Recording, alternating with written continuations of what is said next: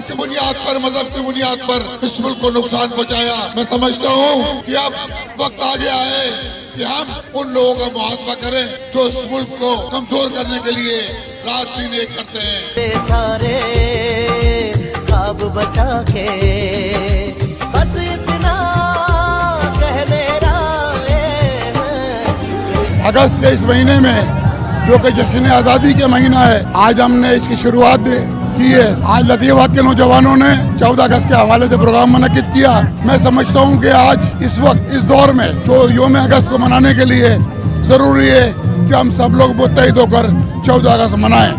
और पाकिस्तान मुखालिफ कुतों को ये पैगाम दें कि पाकिस्तान पहले पाकिस्तान, अव्वल पाकिस्तान और कोई पाकिस्तान की तरफ़ मेली नज़र न देखे। हमारा ताज योम अगस्त के ये प्रोग्राम ज़रूरी है कि हम ये मैसेज ये मैसेज दे आने वाले और कुतों को पाकि दुश्मन पाकिस्तान दुश्मन कुतों को कि जो पाकिस्तान की तरफ़ मेली आँख उठाएगा वो हम हर किसी के बर्दाश्त नहीं करेंगे। पहले पाकिस्तान पाकिस्तान जिंदाबाद। पाकिस्तान की छिहत्तरवीं सालगिरह सेलिब्रेट की गई पाकिस्तानी सुन्नी तहरीक की जानब से और एक भाईचारे का मैसेज मिला यहाँ से। क्योंकि तमाम ही जो स्टेक होल्डर्स हैं वो उन्होंने यहाँ पे शिरकत की, हमारे डिप्टी मेयर साहब ने भी शिरकत की, मैंने भी शिरकत की सुन्नी तहरीक के तमाम जो डिस्ट्रिक्ट प्रेसिडेंट हैं, उन्होंने भी माशा अलहमदिल्ला शिरकत की। तो ये एक भाई चारे का मैसेज जाता है इन इसी तरीके से, इसी तरीके से हमारा आदम व इरादा यही होना चाहिए, भाईचारे का पैगाम होना चाहिए, तनकीद बरए असलाह होनी चाहिए, तनकीद बरए तनकीद नहीं होनी चाहिए।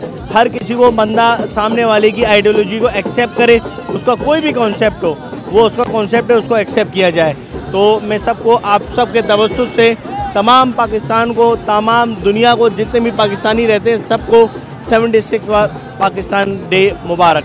यकीन आज जो है यूनिट नंबर बारह में तहसील लतीफ़ाबाद के ज़रिए पाकिस्तान सुन्नी तहरीक की तरफ़ से एक छिहत्तर पाउंड की केक सेरेमनी रखी गई थी और जिसके अंदर मौजूद ने शहर हैदराबाद ने शिरकत की है और हम ये समझते हैं कि इस तरह के प्रोग्राम का मनद करने का मकसद ये है कि ये साबित करना होता है कि बानियान पाकिस्तान की औलादें आज भी मौजूद है और पाकिस्तान को बनाने के लिए जिन्होंने किरदार अदा किया था, उनकी औलादें पाकिस्तान बचाने के लिए किरदार अदा कर रही हैं। और साथ में यकीन तेरह अगस्त के हवाले जिस तरह ज़िले से साजिद साहब ने, खालिद तारी साहब ने बताया कि इन हैदर चौक के ऊपर हम साल साल से प्रोग्राम मनद करते हैं और वहाँ पर इन शाला आतिशबाजी का भी अहतमाम होगा और दीगर प्रोग्राम करके